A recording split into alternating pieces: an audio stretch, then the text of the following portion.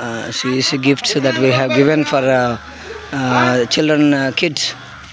All, all these gifts. Thanks for the people who supported for this great thing. Thank you.